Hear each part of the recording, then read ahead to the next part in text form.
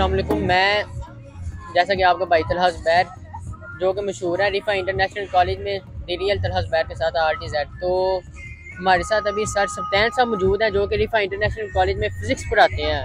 तो सर से पूछते हैं, सर, आपका रिफ़ा में एक्सपीरियंस कैसा रहा?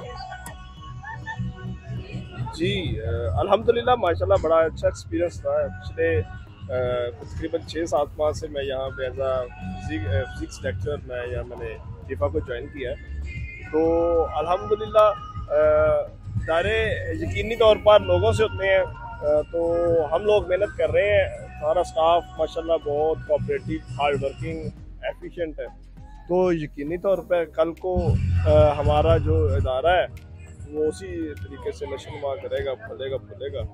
और होप आर दी बेस्ट बाकी अल्लाह पाक सब के लिए सनिया पैदा करे। और सर आप रिफ़ा के स्टूडेंट्स को क्या पैगाम देना चाहेंगे जश्न बहारा के लिहाज से?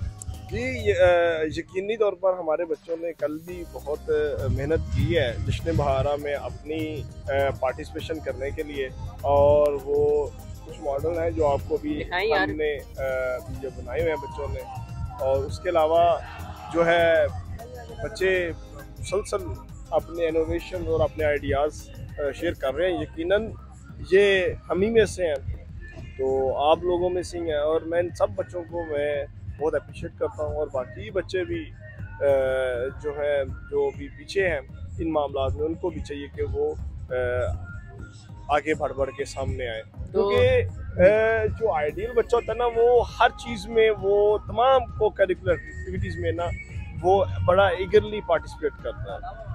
तो हर अच्छा बच्चा जो होता है हर आइडियल बच्चा जो होता है वो सब कुछ ही कर रहा होता है। वो हर चीज़ को बड़ा एफिशिएंटली परफॉर्म करता है। और सर आप क्या समझते हैं ये जो हुकूमत हम एक्टिविटी करवा रही है जश्न बहारा वाली ये मतलब कि सही है? जी माशाल्लाह ये बड़ी एक हेल्दी एक्टिविटी है और मैं समझता हूँ कि ऐसी एक्टिविटीज़ होते रहना चाहिए। ये देखें माशाल्लाह ये आखिर है तो कुदरत के ही फूल रंग हैं। जिनको हम लोगों ने कितने खूबसूरती के साथ इनको सजाया, संवारा है और गुलदस्ते की मानंद बनाया और ये अब आँखों को फर्द बख्शने हैं, माशाल्लाह।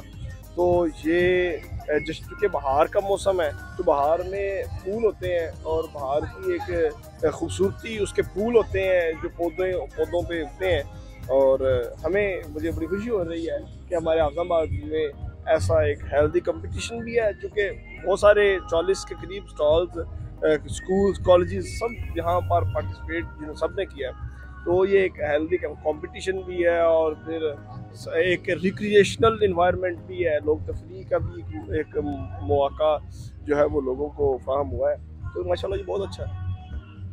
चले फिर सर आप दिखाएँगे अपने कॉलेज के जो स्टॉल आपने लगाए चले आखिर है तो ये कुदरत के रंग। हाँ, ये लेकिन हम लोगों ने इन बच्चों ने और ये सब लोगों ने, हम लोगों ने मिलकर इनको जक जक किया और एक गुलदस्ते की मानंदी ने इन्हें इकट्ठा किया और ये आँखों को एक फरत बख्श रहे हैं, माशाल्लाह सही।